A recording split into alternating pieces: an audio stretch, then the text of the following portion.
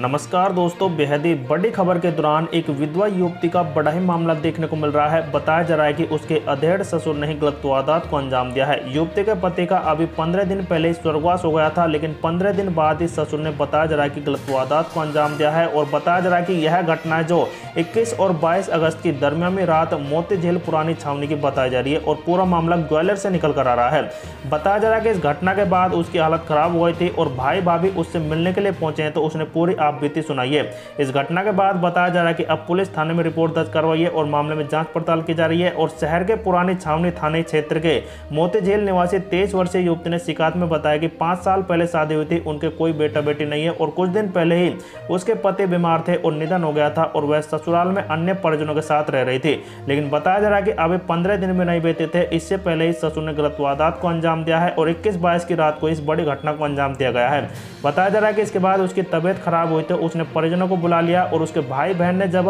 आकर उससे पूछताछ की है तो पूरी घटना के बारे में बताया और पुलिस थाने में रिपोर्ट दर्ज करवाई है। थाना प्रभारी पुरानी छावनी राजकुमार ने बताया कि शिकायत दर्ज करने के बाद ससुर को हिरासत में ले लिया है और अब उससे पूछताछ की जा रही है। तो दोस्तों, बड़ी खबर थी। वीडियो को लाइक, शेयर, कमेंट करते हुए कमेंट में अपनी राय ज़रूर दें।